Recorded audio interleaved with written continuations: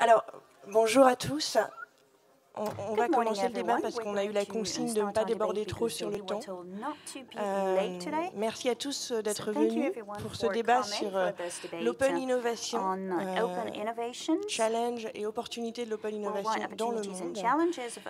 pour ceux qui ne sont pas encore tout à fait familiers avec la notion d'open innovation, l'open innovation ou innovation ouverte en français, c'est l'idée qu'on désormais l'innovation ne se fait pas tout seul dans un laboratoire all alone in a lab or with two or three experts, but it is done with uh, other people with a crowd. So we're here to talk about this uh, notion of open innovation. We have an international panel, and I would like to thank them all for coming and uh, taking part uh, in this uh, discussion, this conversation that uh, we would like to have also with you, with the audience. So on my left, I have Mark Hatch, uh, that you uh, probably know. Mark Hatch uh, is the co-founding father and CEO of TechShop. For those who don't know what uh, TechShop is, and, and, you will soon have an opportunity to find out what that is. Uh, it's a mega space. So this is a makerspace uh, dedicated to makers, and through a subscription, you can have access to uh, industrial machinery to uh, do some DIY to uh, make some tools. And euh, uh, TechShop, which is uh, an American project, uh, initially from California, they are opening their first uh, uh, workshop in France. So this is the, the, first they open outside of the US in Ivry in the Paris region. And they're opening that tomorrow in partnership with uh, Leroy Merlin. So Mark Hatch, who's also the founder of this, is also the he, uh, he, he was uh, uh, he initiated the uh, Makers movement, the Makers Manifesto, and we'll be delighted to listen to him. Then uh, we have uh, Omar Soubra, who also comes from the U.S. He's an evangelist, and he's the director of SketchUp Make, which is a company that produces 3D education, 3D leisure activities, and he bought this from Google three years ago. So, so uh, this is the first company that was bought from Google and not bought by uh, Google. Omar Soubra, you are uh, you defend techno marketing and you set up a group of techno marketing dedicated to this issue. You are also one of the drivers of the Makers movement and uh, maybe of the also digital makers movement. And uh, finally, the uh, we also have Karim Sy, who also uh, uh, comes from a long distance because he comes from Dakar.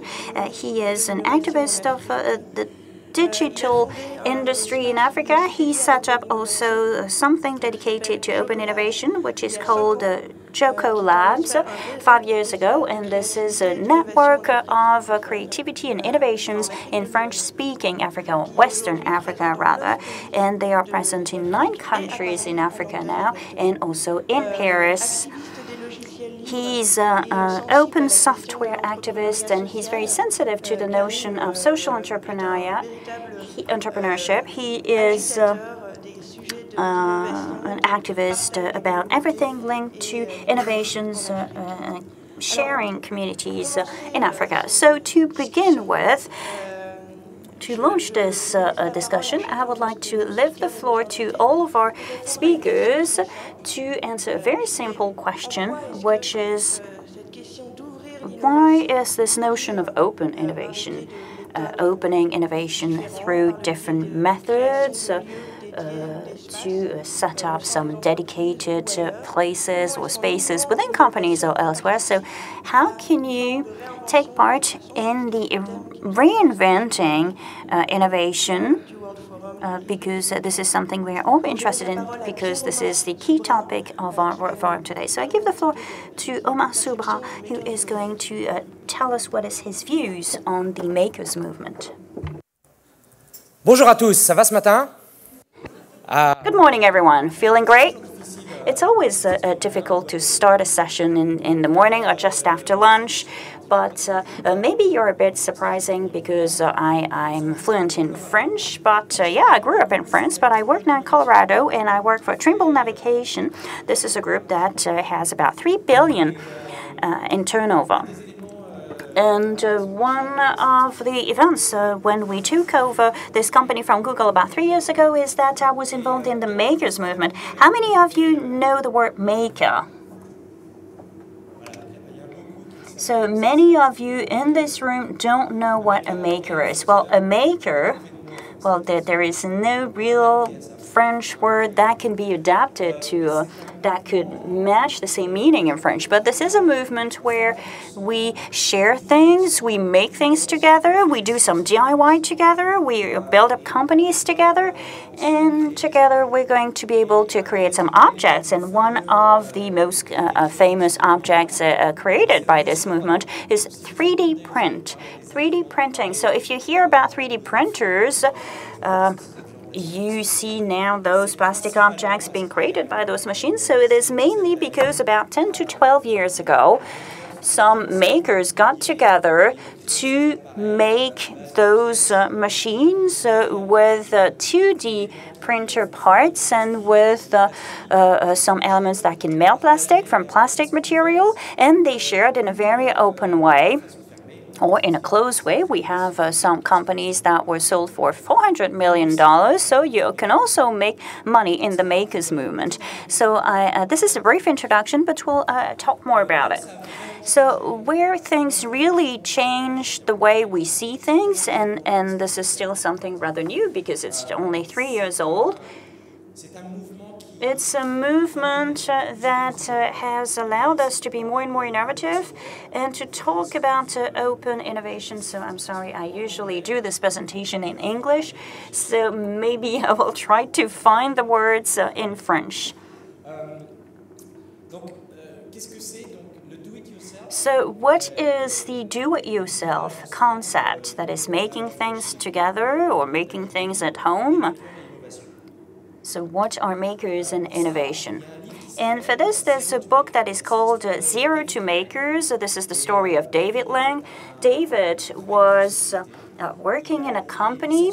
He was uh, uh, laid off and uh, he was uh, jobless. So he heard about the makers movement and he wanted to do more. He wanted to write about makers. So he interviewed people who were already involved in this movement.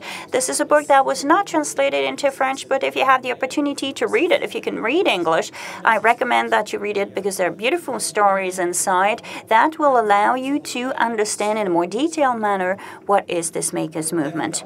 Uh, David met those makers and he said, Well, this is great. I'm going to write about them. I'm going to have a blog about that. And he started to realize that he was a maker himself. And the way he realized this, one day he was in, in a library. You know, in the US, people go a lot to libraries uh, to, to hear story, stories, to socialize, sometimes to have a drink and he heard about uh, uh, something about an Indian treasure that had been lost in a cave. Uh, fill it with water. And many people had tried to go and retrieve this treasure, so that was very exciting story. Does, does it really exist? But he said, well, you know, it would be fun to go and look for this treasure. So he started talking about it around him.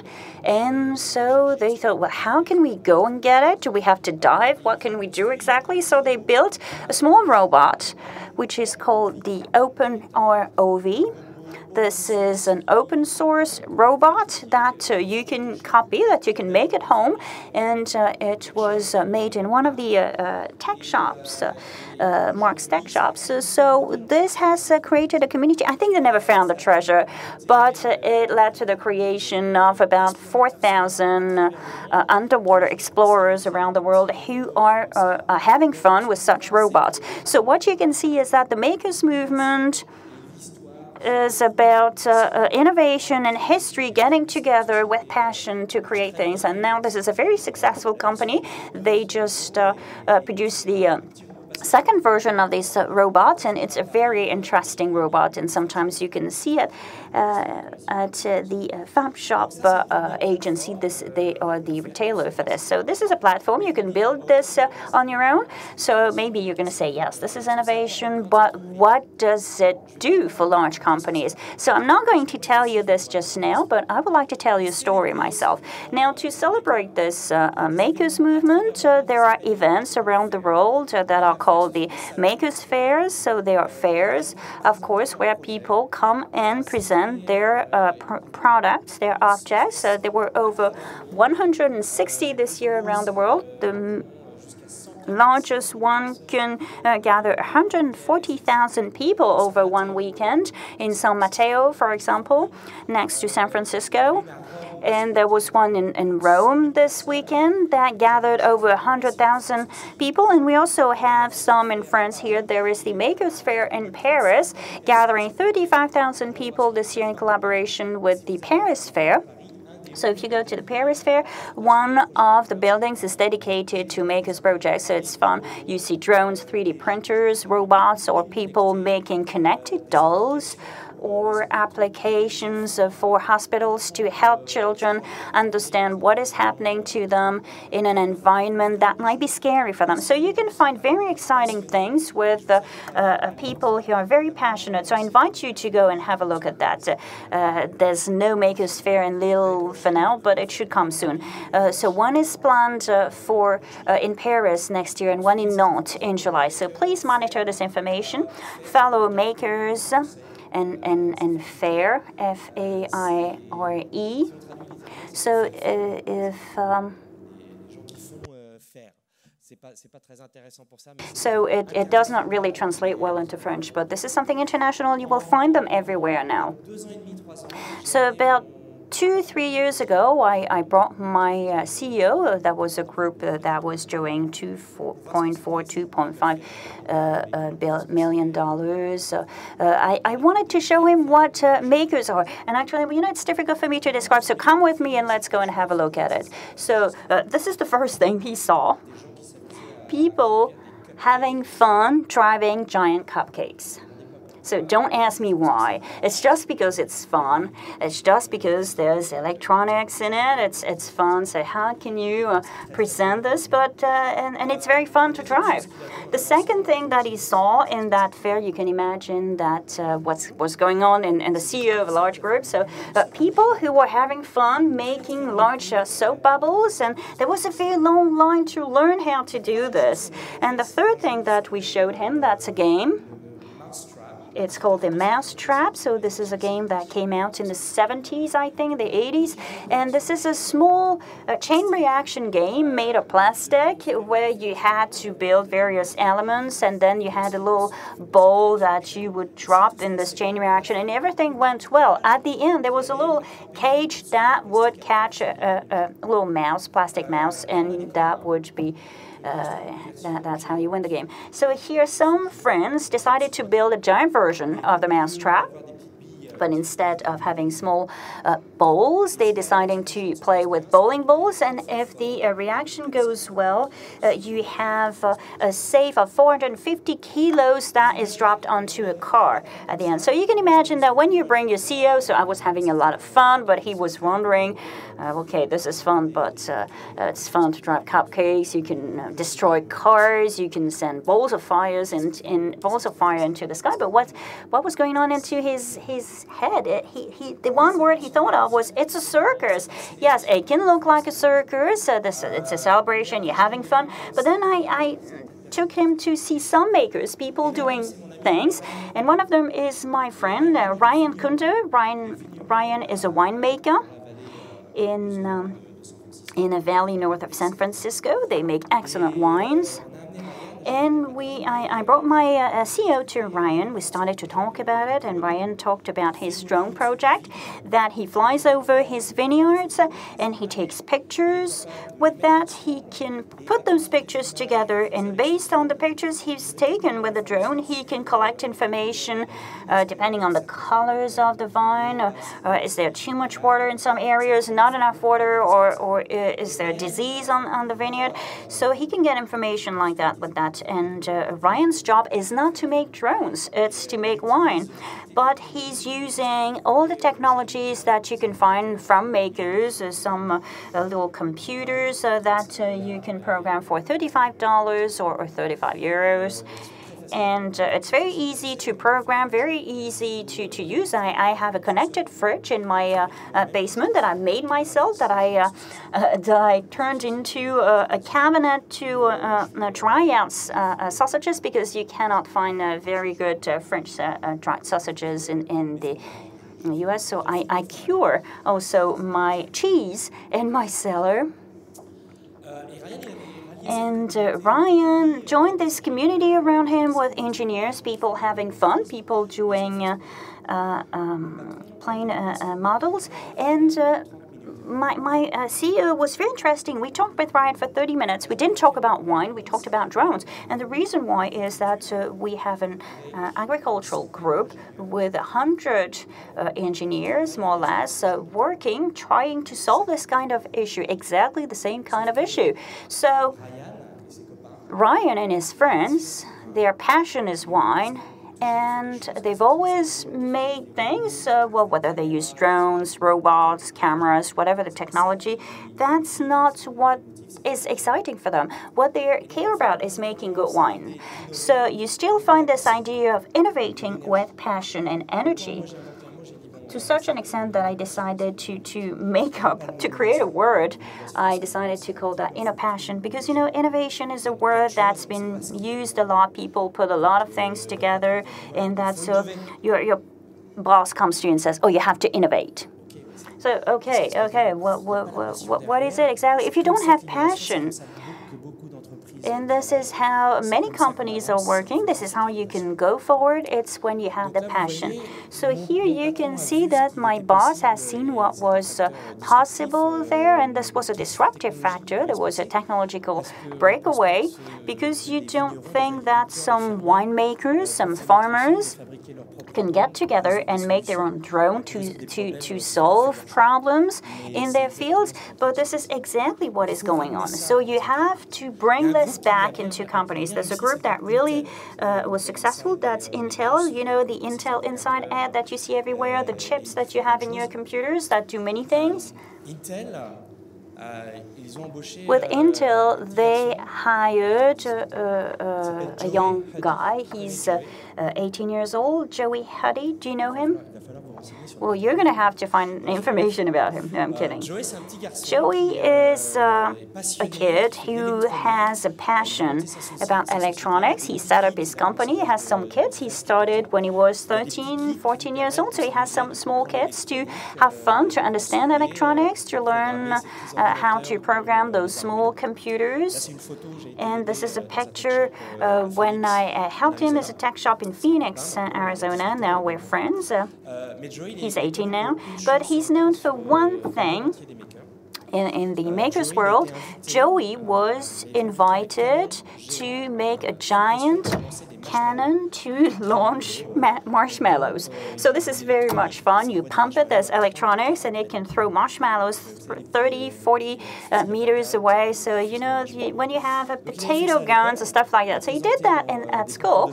He presented this in science fairs and he uh, won the local competitions, the regional competitions, and one day he uh, got himself at the White House because the White House uh, wants to um, give some recognition to, to those scientists. So you can imagine when you come to the White House with uh, a gun, even if it's a marshmallow gun, the uh, uh, Secret Services want to talk to you.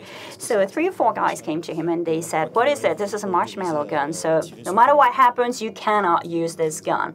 So the, he was just 13 years old. So uh, President Obama comes. he goes around the exhibition. He says, "What is this?" And he said, "This is a marshmallow gun. So can you can you use it? And then he said, well, uh, yes, but you know, Secret Services didn't want it. But that generated the, the, the one of the funniest uh, videos on the internet. So he didn't shoot at 30 meters, but uh, uh, because it was a room, but uh, it was fun. So since then, he was hired by Intel, and he started working on the strategy of all connected objects, connected watches or glasses. there are videos of himself on the internet where he explains to you what Intel is going to do, and he was on stage at the Consumer Electronics Show in Las Vegas, which is uh, the major electronic show in the world, with uh, the Intel CEO, and he was uh, introduced as the KIT CEO together with the boss. So Intel added this to all of their fairs. They have makers who uh, work with them to help them to innovate, to see things in a different way, to think out of the box. So what I would like to invite all uh, companies, whatever their size, is to think about inner passion and maybe to forget about uh, innovation and to move on to something else. You can bring passion into companies, bring energies back to companies because we're having a lot of fun in the makers movements. Thank you.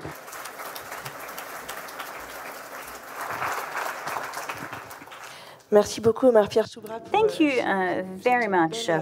Omar Soubra. Uh, this was a very good introduction uh, for the uh, makers and their link with innovation, innovation. There's another person who has a passion for innovation, and I will ask him to answer the same question. How do you think that open innovation can invent new forms of growth or new ways of doing things?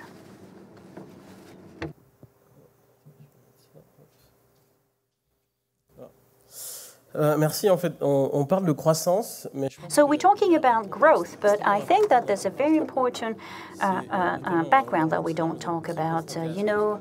Uh, in, in usually uh, you hear about that because people tell you there's not going to be growth anymore. I think that after the uh, um, climate conference 21, I think that we have to think whether we can uh, have projections for the next uh, uh 50 years uh, because uh, there are so many constraints on the biosphere. We have developed so many practices that not only we've destroyed the social link, but today we are facing what all kinds of crises that are just symptoms of a very deep uh, problem. So, do we really need growth? And the main uh, uh, question that we have in Africa is that should we have growth as it was done before? So, should we uh, face the same problems? Because we know now it doesn't work. In 2008, there was a huge crisis that is not over yet. And now uh, this is all uh, uh, raising questions. So Einstein told us uh, uh, you can solve a problem only if you are in the same state of mind than when you created the problem. So this is where you talk about creativity and bringing innovation, new ways of seeing things, new ways of doing things, and even new ways of doing business. And uh, in fact, uh, one of our hypotheses was like uh, uh Georges Clemenceau when he told us that uh, war is uh, too serious a thing to leave it in the hands of the military. So we have to think about what we do every day, all the, the, the questions we have, all the issues we face. If we have a hard time breathing tomorrow, if it's hard to find drinking water tomorrow, or to have good food, safe food, if we are in a world that is going through an energy transition, we are concerned by this. So we have to come back to the etymology of the word expert. This is someone who has experience about something. It's not someone who's got a PhD or an engineer, an engineer or a super specialist. It is people like uh, Lejeune who have uh, who has developed uh, uh, those uh, issues. Uh, it's a vineyard guy who worked on drones if he had uh, come to a drone specialist fair, uh, people would have said, What is he doing here? But in fact, he's got some true expertise on the drones. So we can see that, in fact, we have to give ourselves the power, the ability to do things. So we started from this idea. And uh, I'm, uh, I'm, an open source activist, uh, uh, the culture of open software. You know that since 1970s, uh, we have a world that was world with people sharing their sources. So I think that uh, that was the first time that uh, the digital was used and, and anticipated on the digital economy. So uh, there was uh, the internet behind uh, all those movements. And in fact, this culture that allows you to connect people at uh, a scale that was never done before because this is a global exchange to work together, to work on projects together, projects that are not meant to be economic projects. I think this is a rather strong dimension, and projects that are very practical and generating value. So, based on this culture, you can find some approaches that are very important. So what did we do at the um, Jokko lab? Well, we're not researchers, uh, we don't have PhDs. Uh, when I started my first project, I was 19 years old at the uh, uh, Montreal Polytechnic uh, Institute. We worked on a manual water pump to bring water to Africa. So it had nothing to do with this. it was some innovation at the time, and I developed many projects since then. So I'm a serial entrepreneur. So five years ago, we launched this initiative, and we were trying to find a response to this crisis. And the idea was, well, we can launch spaces that are creativity, collaboration spaces, because you have to stimulate creativity everywhere. Uh, amongst kids, uh, uh, seniors, because we can see a 15 year old kid can bring something. And uh, we've worked uh, with the international uh, French speaking organization. We worked in uh, five French speaking countries. In, in Senegal, the team that won was led by a 17 year old. So this is, and, and the oldest one was 21 years old. They uh, produced a connected trash can that uh, can provide all kinds of information about uh, uh, products that are thrown away for selective uh, wasting. So the objective is to bring people together and make them want to do something because we said passion is important. We invested a lot, but at the end of the day, what's important are communities. People have a passion, people who want to do things. And when you analyze innovation networks, you see that they're all based on cooperation. And most of the time, they work as kind of small units and they don't work in a vertical type of organization. So the end objective is to find solutions together and it's to contribute to collective intelligence. And today, the internet makes it possible to have this global momentum to start thinking and building together. And tomorrow, we won't be able to make it if you if we don't work together in order to find solutions to this uh, to these problems ahead of us with uh, energy transition. And we see lots of people embracing these issues and working together throughout the world. So the internet abolishes this concept of, of territories or boundaries. I'm based in Paris or in Rennes, but I also work in Dakar. And by the way, talking about Rennes, we work with uh, uh, the people in Rennes, and we are very well organized at the level of French speaking countries.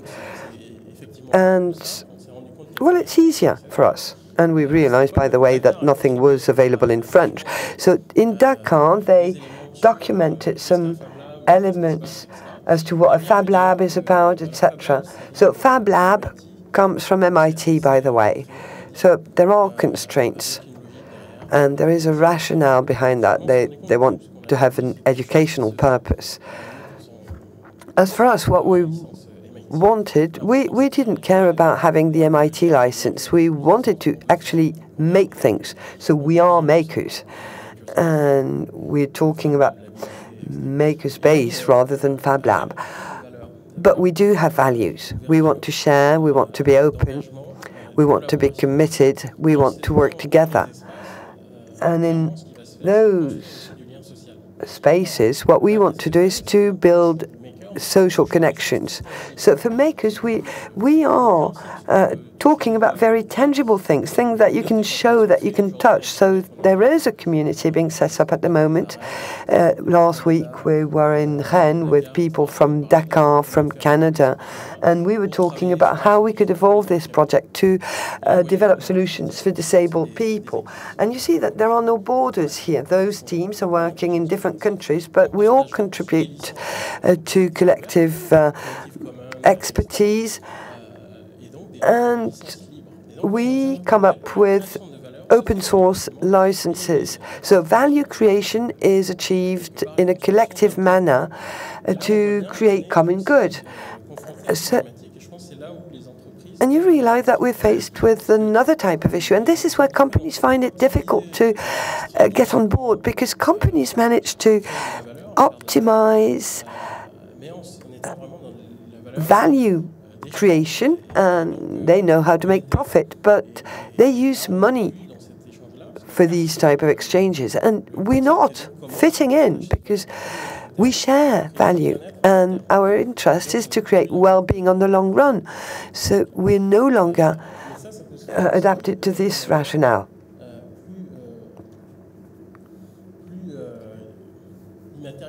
But this can be done in a more intangible fashion.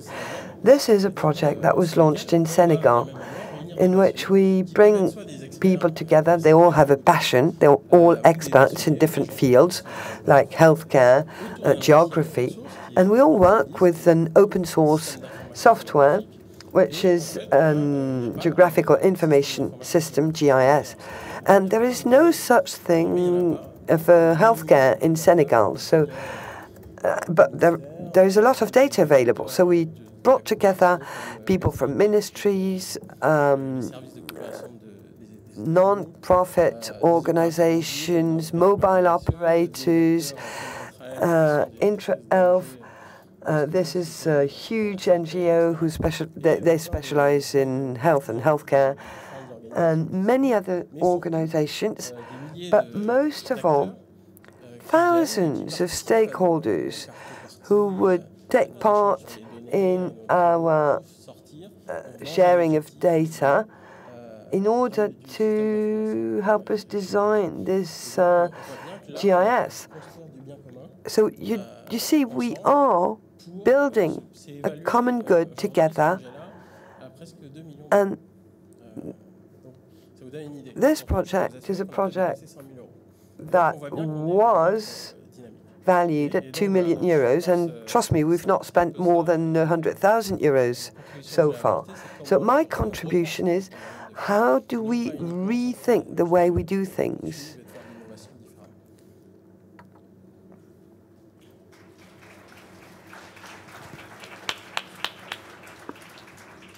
Merci beaucoup, Karim, pour, well, thank you very much indeed, Karim, for this uh, presentation and for telling us that open innovation is based on the principle of uh, giving back to people their ability to do things together, to share in order to rebuild the common good and reinvent a new economy and a new social links. So now, another speaker, we're all very interesting, interested in listening to what he has to say. Uh, he's going to tell us how we can move from DIY to DIT, do it together, from do it yourself to do it with other people. So this is Mark Hatch. Thank you.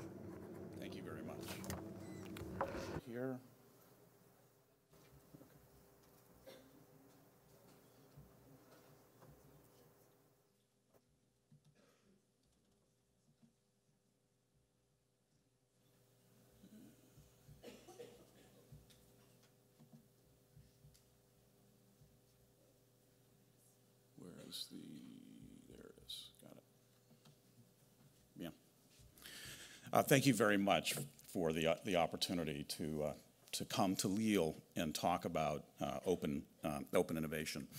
Um, so uh, my name is Mark Hatch. I'm the CEO, co-founder of TechShop.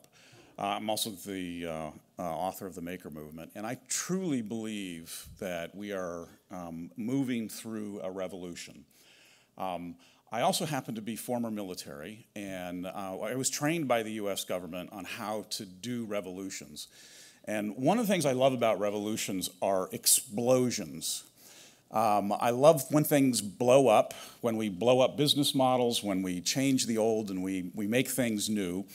And there are going to be moments in this presentation where you're going to want to participate. And it is still early in the morning, so we need to get, we need to get energized. Um, and so I'm going to ask you to say boom every once in a while. Um, and we're going to practice real quick. Um, so, uh, so let's get started. One, two, three. Oh, we can do way better than that. Come on, a little more, a little more energy. One, two, three.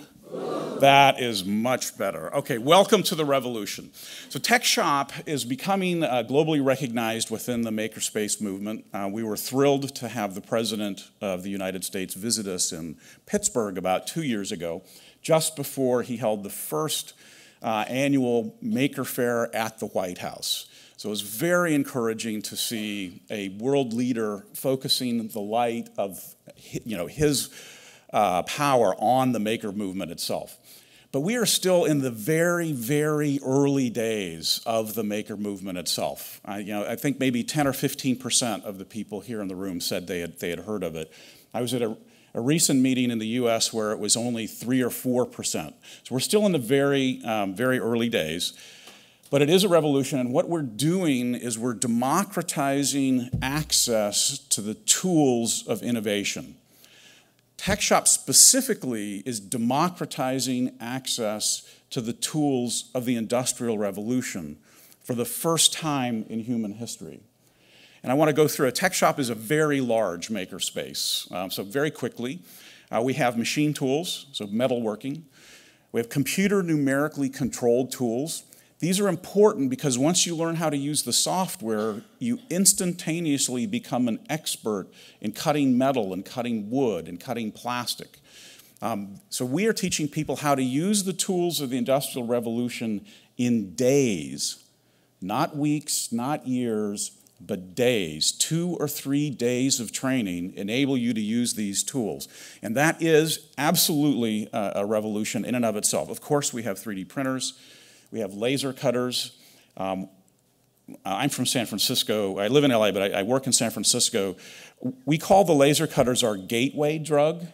So if you're a drug pusher and you're giving away your first hit, it needs to be very powerful, incredibly easy, and very addictive. Laser cutters are that. They're very powerful, they're easy to use, and they're extremely addictive. We have people taking this one class for $60 and accidentally launching businesses after taking this one class, and I'll talk about a couple of those in a minute.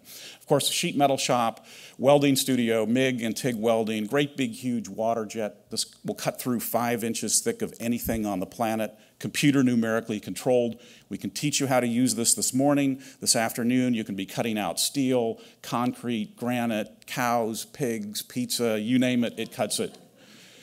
I don't recommend the pizza, by the way, after you've cut it, it's a little soggy.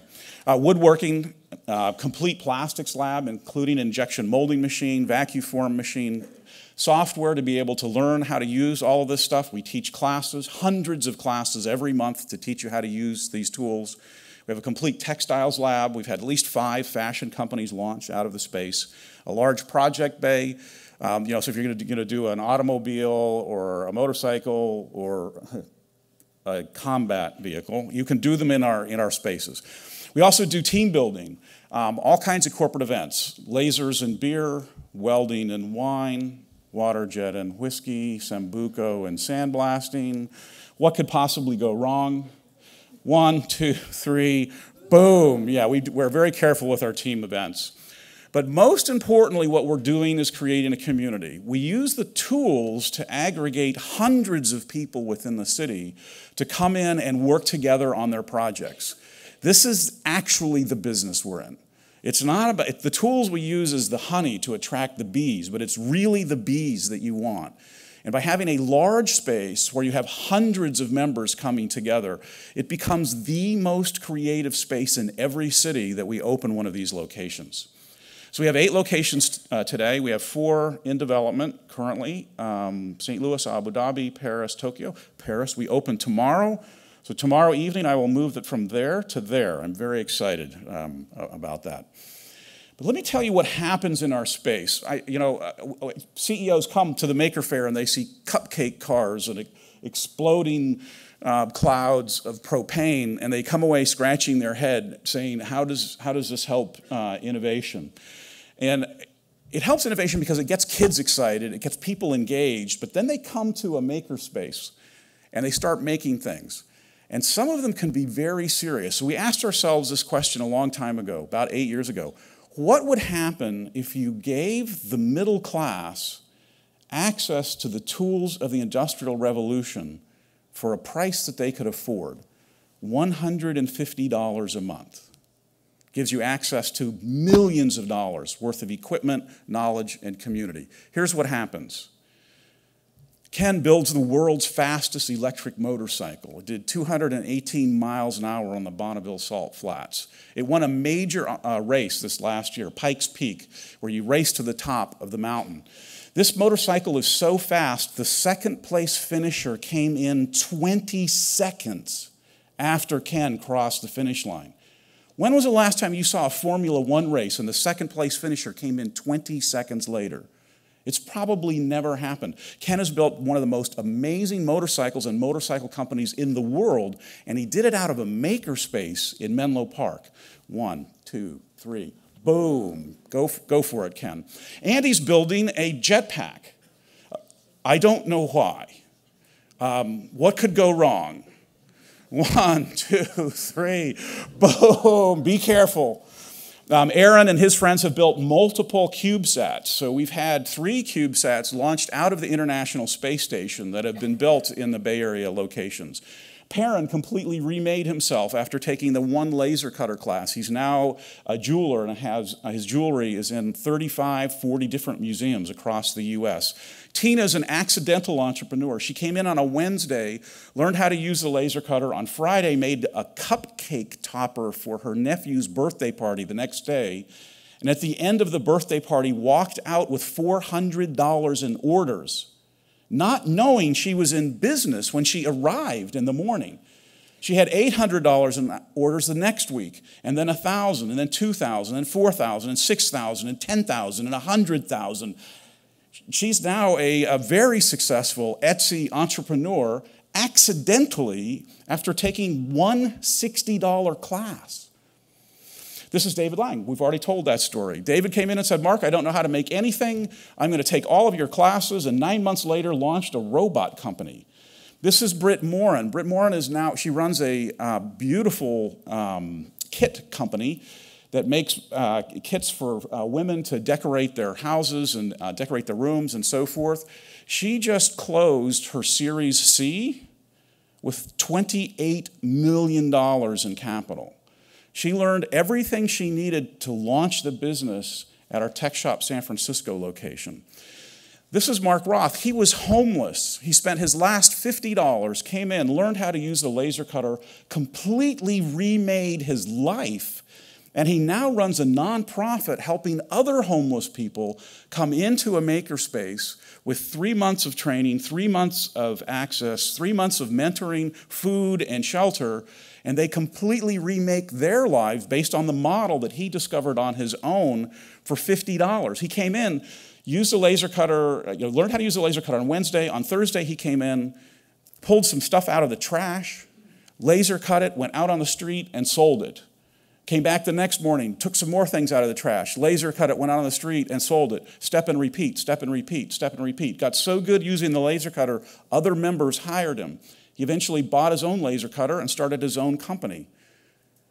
We live in an era when you can have access to tools that are so easy and so powerful that a homeless man can remake his life in a couple of months. One, two, three, boom.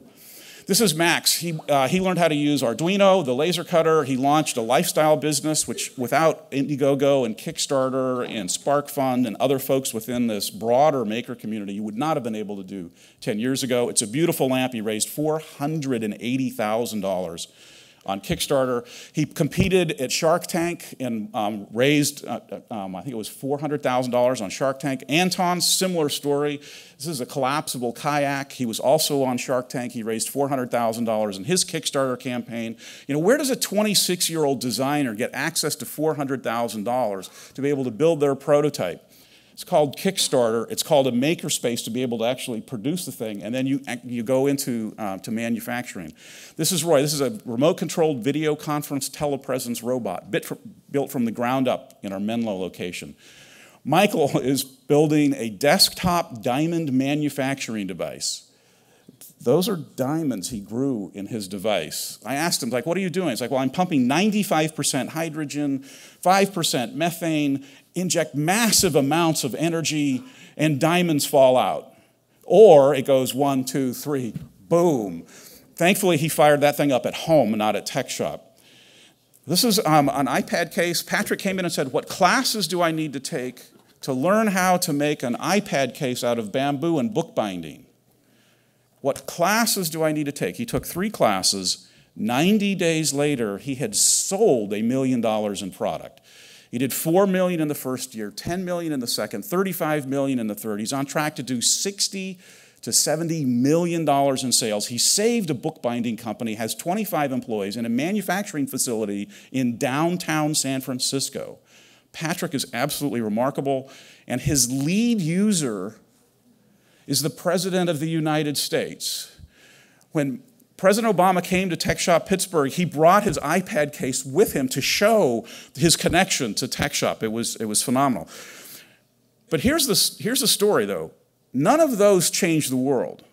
Right? I said earlier, if you give the tools of the Industrial Revolution to the creative class, they will change the world.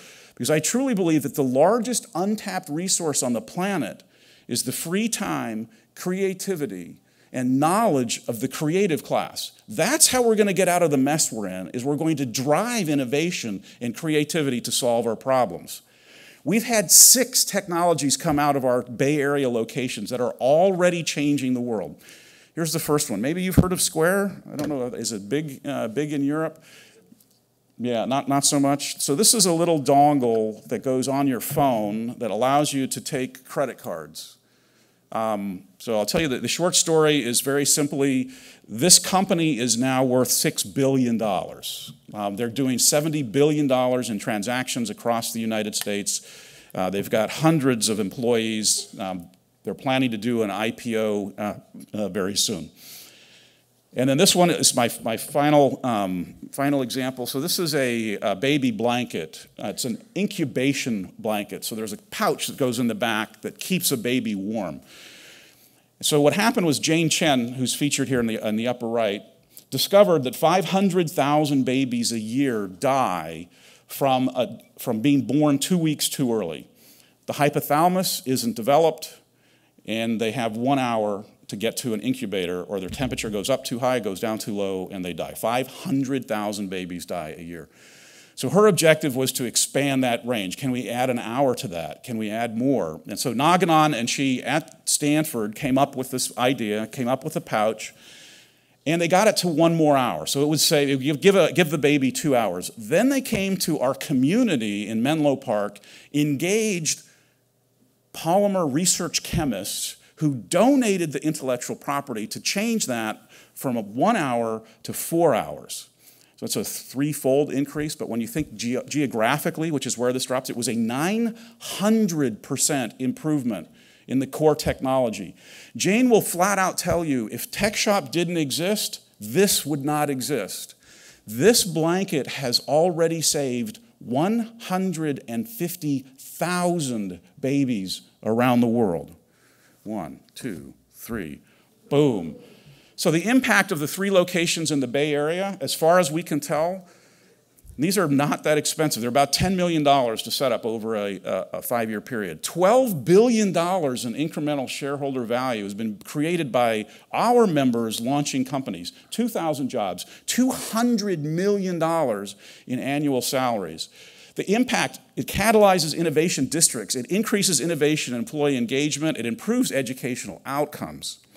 So, what happens when you give the tools of the Industrial Revolution to the creative class for the first time in human history? They change the world. And the good news is the first one is opening on the continent tomorrow in Ivry. One, two, three, boom. Thank you very much.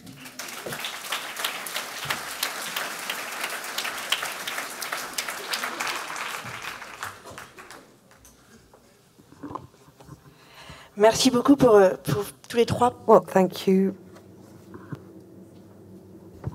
Oui, pardon. Sorry. Euh, alors, je pense que on, on va, je vous propose de qu'on qu discute un petit peu, qu'on amène, qu amène progressivement une conversation ici. Ensuite, on, on fera circuler les micros dans la salle pour questions. Euh, alors, la première, euh, première question moi, qui me vient à l'esprit euh, après avoir, vous, vous avoir entendu tous les trois, euh, puisque euh, on sait que l'open innovation, que ce soit sous la forme open innovation, whether with the makers movement or whether the open source software or crowdsourcing, a aujourd'hui un peu plus de 10 ans.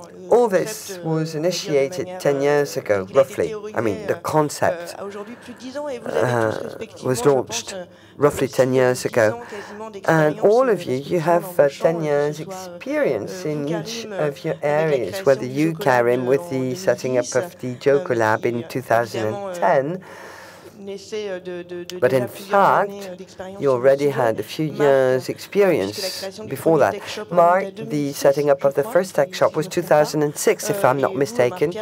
And for you, uh, Omar, when you started working on 3D, um, the use of these uh, 3D tools, something like 10 years ago. So my first question would be, what would be the key to success for euh, open innovation? Euh, I know it's a euh, kind of a broad question, but when I talk about success, because euh, all of you des éléments très importants. You talked about very important things. You all said that for innovation to be successful, it has to be useful, it has to be sustainable.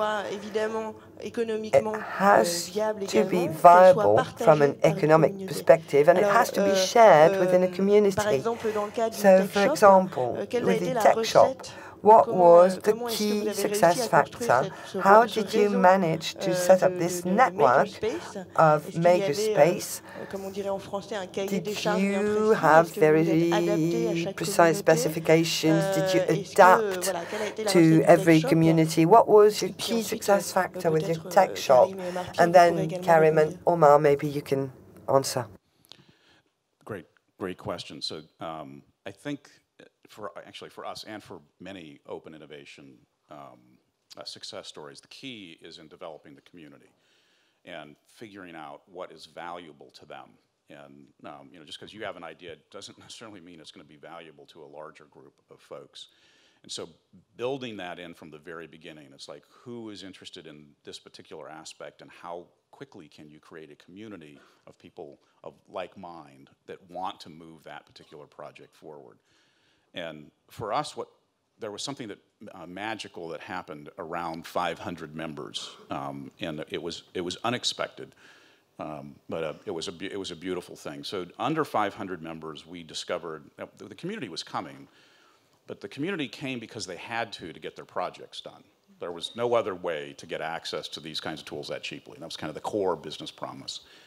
But over 500 members, all of a sudden we had enough people on site all the time that all of your problems could be solved by other members in the community that night. There was no logging something on Mechanical Turk or making phone calls or going home. You would go to one of our dream consultants and say, you know, I'm not sure which chipset to use. I don't know what the features or benefits would be. Like, who, who can I talk to? And that's the part of the dream consultant's job. And they would say, well, Bob over there, you know, works at HP and used to work at Intel, and he's got the answer. So what happened at, at over 500 members, we had enough people on site with domain knowledge that people started coming because they wanted to, because they knew that their projects would be upgraded and move forward. So again, going back to the question, the real key is in building that initial community of folks that are interested and then leveraging that. Merci beaucoup. Donc, euh, construire une communauté. Euh, Thank Karim, you very much. So, building a community, Karim, this is probably something that you had to face in Africa. Well, everywhere, not just in Africa. And everywhere we face this with the same issues because within a community you have this idea of social link, as for us, it's a bit specific when you're in a maker space where you need to have two links, so it takes a bit more room. But as I said, we also work in digital e economy. So we're both. We really have this kind of a hybrid approach with polymorphic spaces. In Dakar, we have this uh, space, which is a house that we are using. And we also tested a small maker space, a very small one, by the way, with the French-speaking university campus. So we're going to try and establish connections with other structures which are not related whatsoever. We're talking to the Food and Agriculture Organization to have developed project with them around agriculture and farming. So we do realize that the major interest or the, the, key success factor there is making spaces available where communities are set up around practices, knowledge, communities of interest, communities of practices, etc. And then you need to disseminate this, so you need to establish a network, and it's almost natural to develop throughout the world because we are web-based. But now we've reached a third step et que tout le monde commence à se connecter. Je, je, je croise where everyone is being connected. Si on veut vraiment changer le monde et avoir un impact, parce qu'il va falloir commencer à accélérer le rythme aussi. So we're trying to speed up. We're trying to get connected all together. We try to uh, go from the ecosystem to the ecosystem, where we can all have uh, uh, leave our print. And we realize that the objective is really to create something. So to to create social link, well, with the networks. Uh, we, we know that beyond 30 people, it's hard to remember first names and get to know people. Over 148 people, you don't really know people. So even if you have 3,000 followers, they're not really your friends. They're just Facebook friends, but they're not real friends. And so you have to move from the virtual world to the physical world. I think this is the virtual world is the first introduction, and, and this is great. Maybe I don't look like it, but I, I'm part of a generation who likes to have the internet. And if we didn't have the right conference uh, or someone to introduce you to the right person before the internet, it was hard. So there is a potential that uh, that that is the uh, digital world, uh, and it's great. So we're trying to create the social link so that people uh, because it's over the long term, it's not within two minutes or everybody's going to come to you and what is the big success that you've had. And, and everyone wants to see uh, the new Facebook, but it's only over the long term that people can, can develop themselves and that trust can be built. So people start talking. So first you're going to see the gentleman and you're going to say, well, he's, he's a winemaker. It's only that when you start talking to him that he's going to tell you, well, my passion is drones, and I've done this and that. So this is how they're going to develop new projects and maybe uh, innovation is going to emerge. But innovation is not invention. So it's um, a process uh, or new ways of uh, making a product which is going to uh, be successful amongst the uh, public. But there are, there are great inventions everywhere in the world, but it stays in boxes. And uh, it does not become an innovation. So networks and communities are important. So that leads me to another question, maybe uh, to uh, uh, because we can see in the makers movement what is important is the physical world, the uh, uh, analog world that is to be able to make things, to take a hammer and build something. And we can see that in the digital world sometimes we have a feeling that the tools are using us. If you think of uh, big data in general, more than we use the tools. so how can we create a community of digital euh, makers. How can we uh, give people through the digital world the, the assets to become makers? Euh, well, it's, it's uh, similar to the previous question. So, uh, how can we uh, set up this community? How can we increase it and, and build social link? I'd say the first step is to become a maker before being a digital maker. And in that step, this is a psychological uh, step. I will give you two simple examples. The first is uh, my own example. When I went to my first Makers Faire, I, I had fun. I've seen extraordinary things. I danced on a bulldozer, uh, explaining that it was a 3D printer. après la Maker Faire, j'avais un petit, after, uh, the Maker Faire, des fois le baby blues, ben moi j'avais un know, maker blues. sometimes you have the baby blues. Well, I had the maker's blues. So I talked to my friend Bertie Reed, who is the uh, uh, chairman of the Fab Shop. they have a digital tool company, and, and I told him, you know, I like to be a maker myself. And he turned to me and he said, you are a maker. And I said, am I? Yes, you make your, your own uh, uh, dry sausages, uh, your pate in Colorado, you share that with your friends, and it's not a problem for you to share your recipe. Well, I thought I was maybe a butcher. No, no, no, you're a maker. You, you're really doing it. And so that was this, you know, the, the, the, the, the coin dropped, and, and I had fun. I looked for recipes. Uh, uh, we share this uh, pate recipe. I improved it to my taste and, and for my friends. And for Christmas, I, I handed out to all of my friends. I, I learned to do rillettes and more complicated things.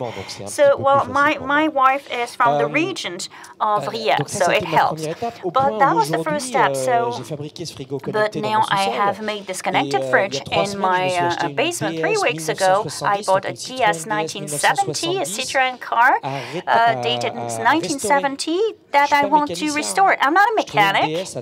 I found a DS three hours away from my home in Colorado. Can you believe this? And uh, it's, well, it's not in a good shape, but I bought it for $2,600. So I'm going to have fun. It's in my basement. My, my wife said, What are you doing now? But I'm no longer afraid. I do things. Um, I even printed 3D parts to restore that car.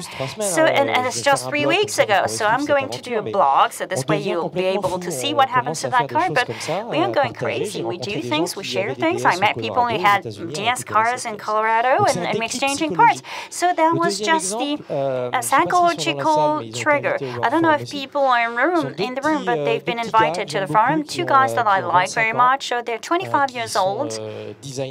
They are a designer from NC. It's, it's a school here.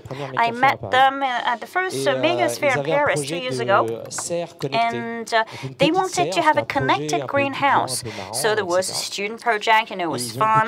And so they have a, a small connected greenhouse and they were presenting it because they thought it was cool.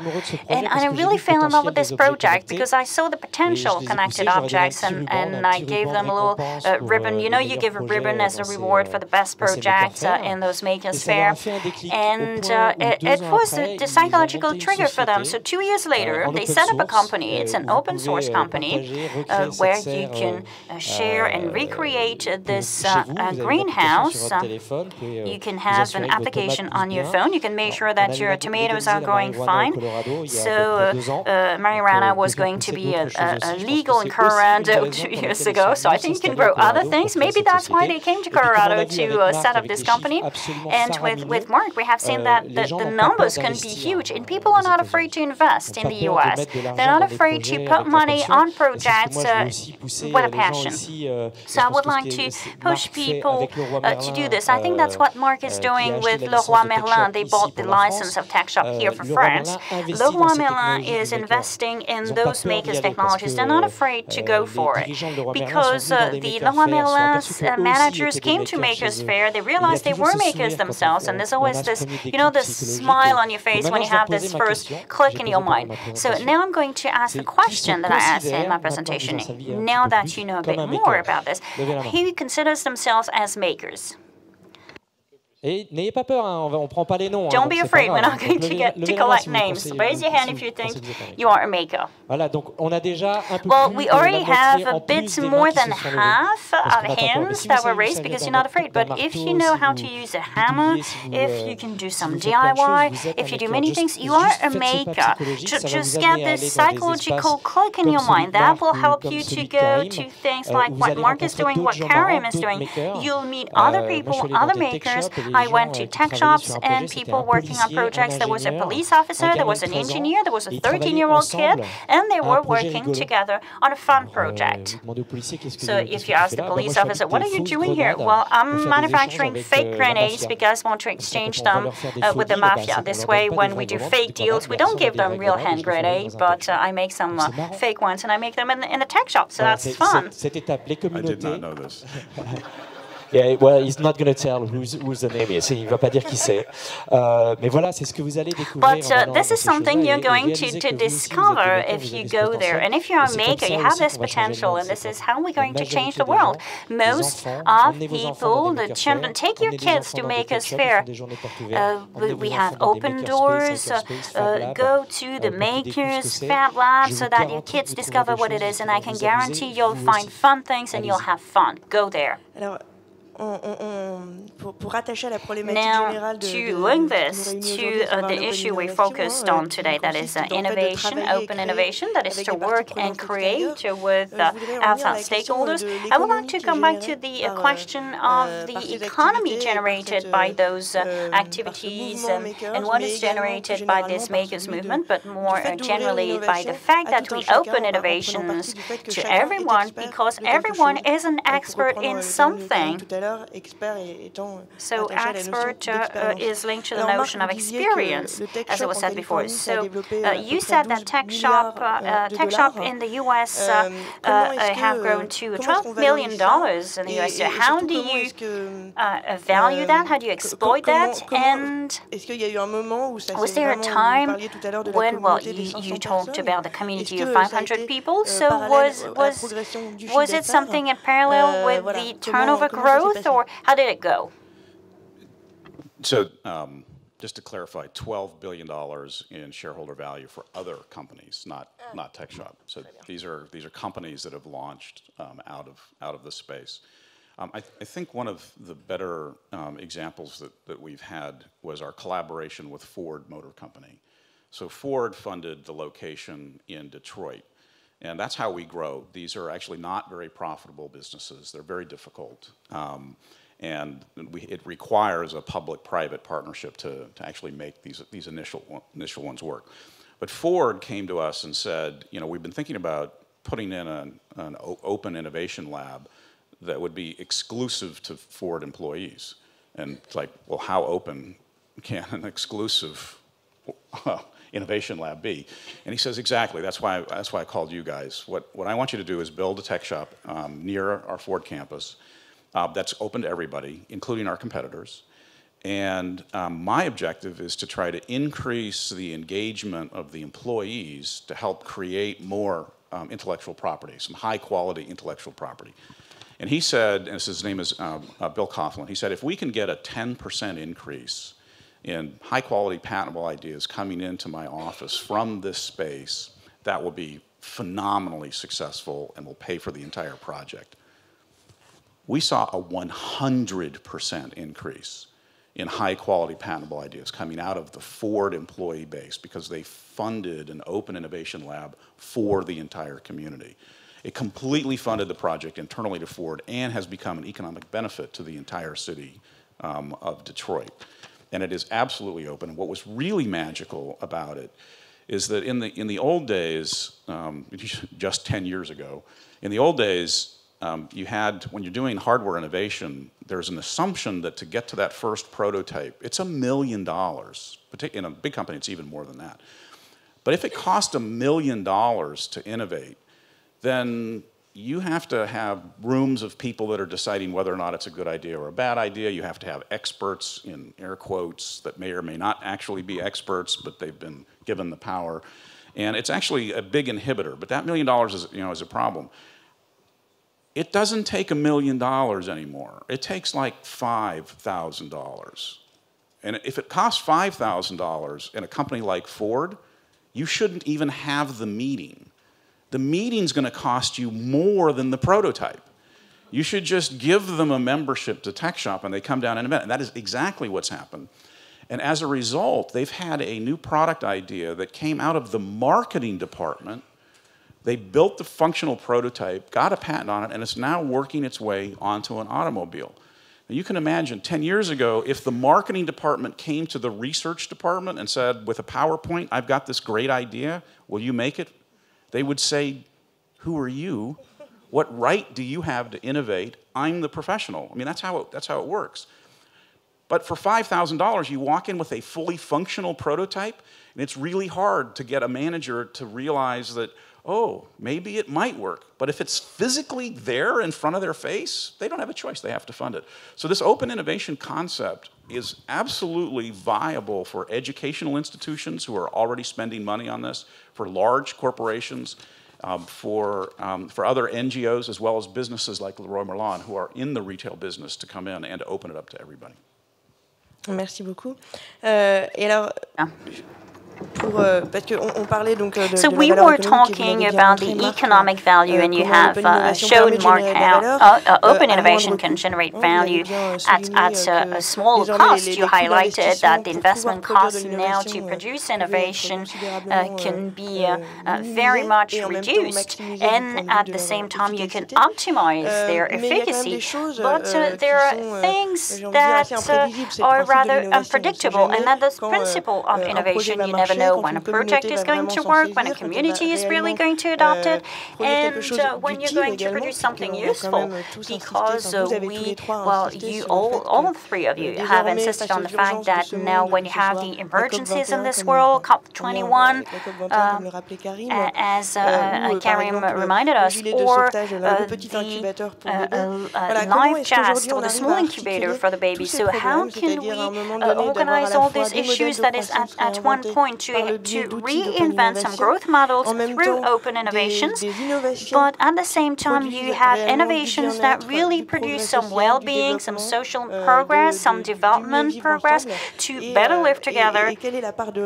And what is the risk share that you take when you're doing open innovation? And I'm asking the question to the three of you.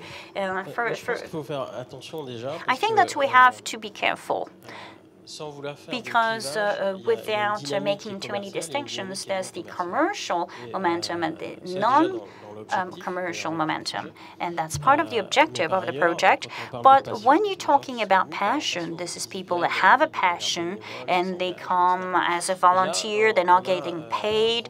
But here we have a problem because uh, this is uh, what we call professional amateurs that you can mobilize. Uh, it becomes Wikipedia or, or things like that. You have people with a passion who share things. And when it becomes a bit uh, uh, of a vicious circle and you don't know how you can manage this is when you have large companies coming, but they have an interest which is purely financial. They want to generate value for their own company and not necessarily for uh, the, the, the world and the common good.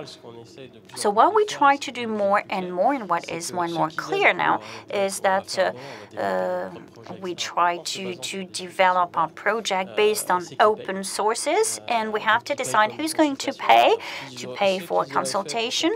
What they would have done for a few million dollars, they will do it for less, but they're going to contribute financially because uh, here we are in a world in transition. And uh, we have this energy, but it cannot be given all the time because people have to make a living. And uh, we, we, we see that the system works. Communities have to be large because people would, would uh, uh, tire up. They have to go to work to make a living at some point. So, but there is something interesting that I've seen. I don't have really a theory about that, but I think that when you commit to this kind of movement, you develop some kind of appetite for the daily life. So it's it's you, you live your life in a different way, and maybe you, you are pushed by your passion, so you can make a living out of it because you're going to sell some consultation, you're going to develop projects, you're going to support those projects, whatever, or you're going to sign a deal with companies to develop something, as we have seen, that can generate some products that can be sold.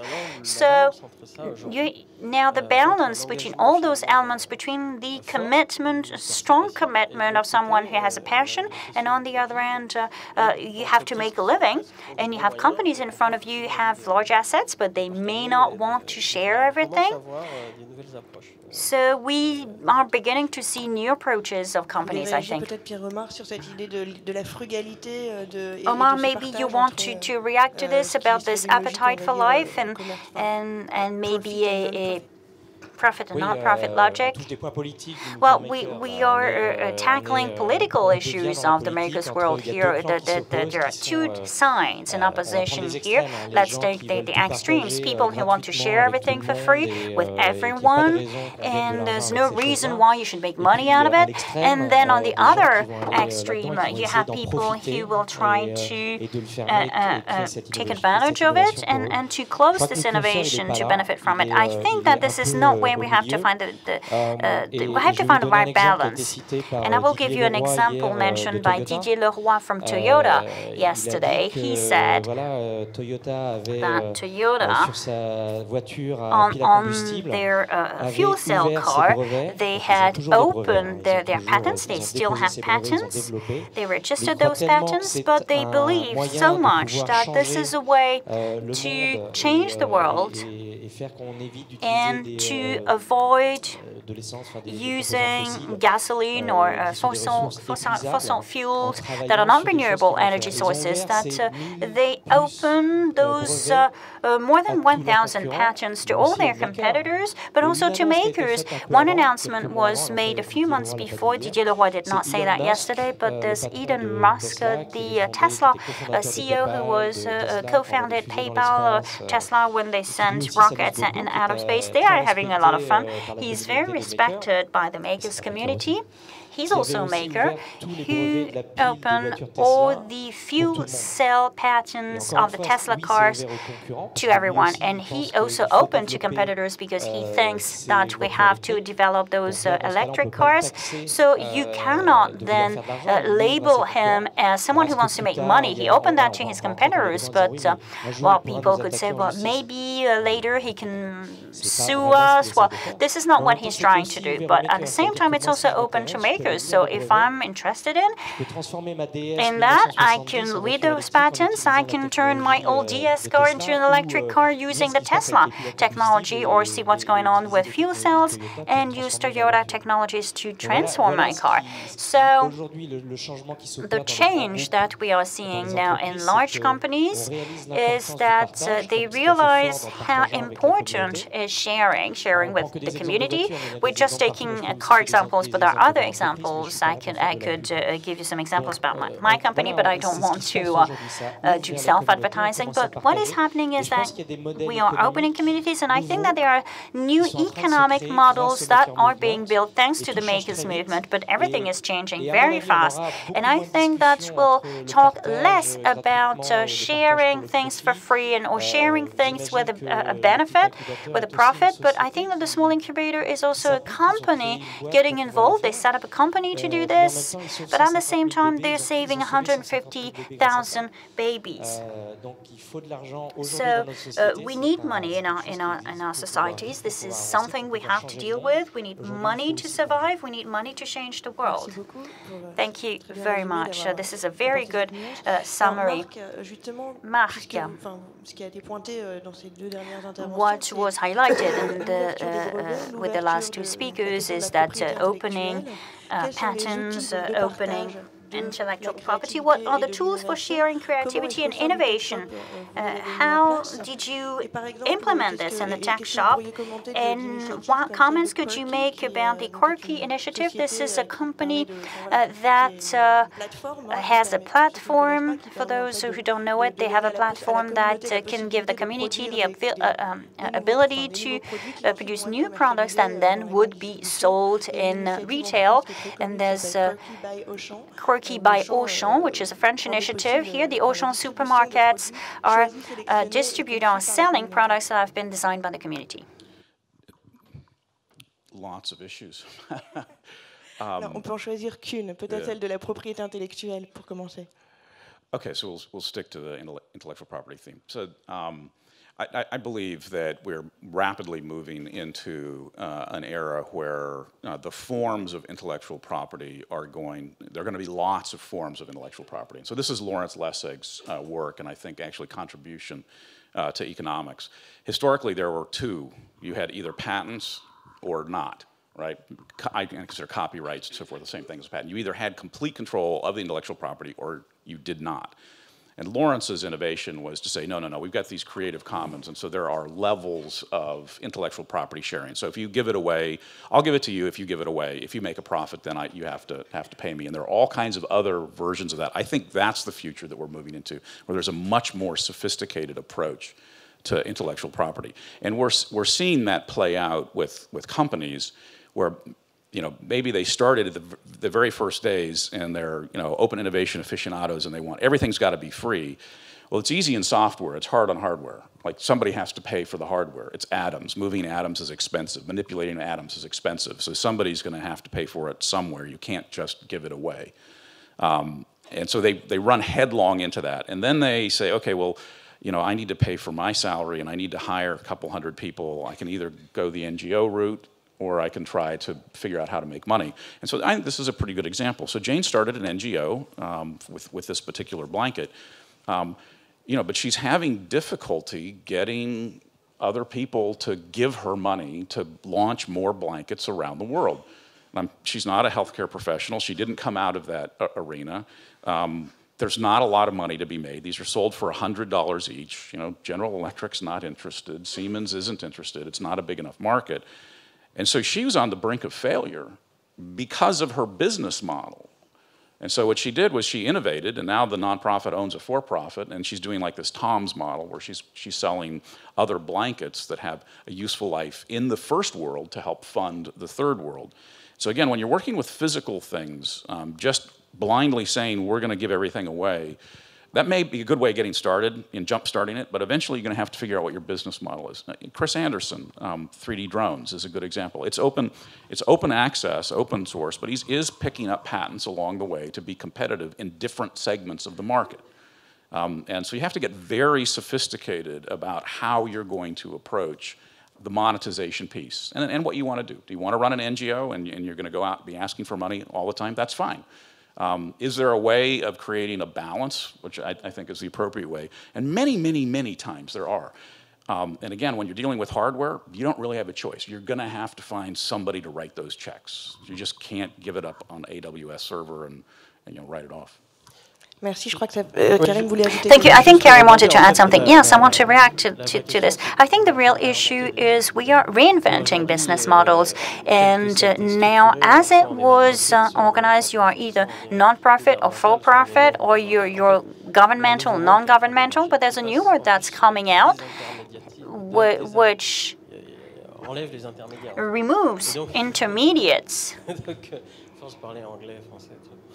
I, I get confused sometimes between French and English. So, for, for example, when you have a maker who, who, who, does something, he's going to develop it in a tech shop, then give it to someone. But it's not really a company producing things in a large factory, but you're going to produce something and distribute it. So you can see that we have very new models, but uh, and, and now depending on what is developed, you can have 10 different 10,000 different ways of doing it. Now, if you take this, this if you consider this project, uh, I am a member of the Ashoka network, and all the people I meet in this network are inventing models, and they're using old models. So they have an association or a non-governmental organization or a company, because it depends on the country. In Senegal, first we wanted to have a scope a cooperative, but it does not exist. Uh, they told us go to the cattle ministry, and we told them, well, we're not we're not in this field. So we set up some kind of limited responsibility company. So we are inventing models. In France, we are an association. So you can see that we are in, in an emerging world with new models, whether it, they are new business models. I'm not saying that we want to make money. This is not the right attitude, I think especially since it is a world in transition. So I think we have to find the right uh, balance in the middle. And I think that we have to really identify with the values to be open, to share things, and work collaboration. I think this is a good summary. We have just a few minutes for a few questions. If uh, you have burning questions, uh, what can innovation uh, mean for you in terms of growth? So do you have questions?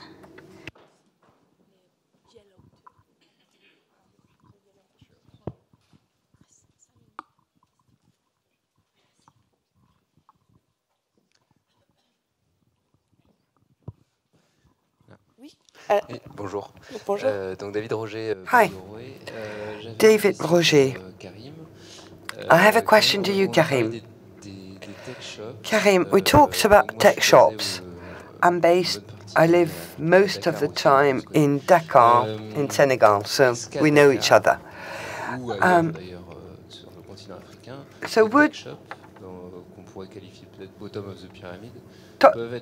bottom of the pyramid tech shops could bottom of the pyramid tech shops be set up in Africa.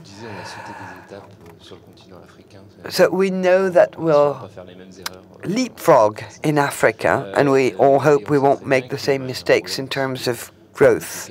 But we also know that there is a problem of seeding capital, of accessing tools. So can tech shops be developed in Africa?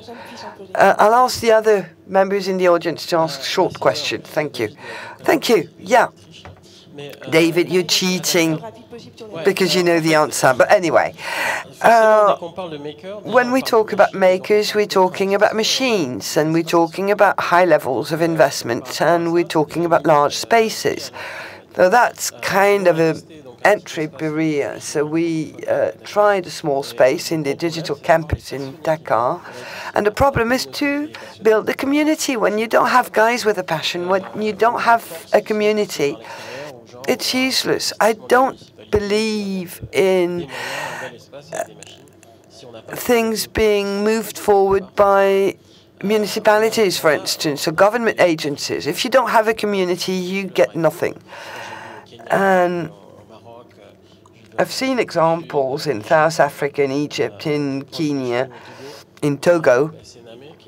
We have Besename. He's present here. He has the WELAB, which is great. And he has a very popular approach in Togo. So we see that these kind of approaches are developing. Obama was an extraordinary example in the US because he gave visibility to this movement and he got involved. And he was very committed, so everyone followed suit. But this is something we do not have. Uh, in Togo, the visibility of Wellab uh, helped him have better relationships with the public authorities and helped him develop. In Senegal, this is becoming a reality. We have a project with French Corporation. We're about to set up uh, schools of uh, engineers with a lab to develop in innovation, and we'll have more investments in the equipment. And Dassault also invested.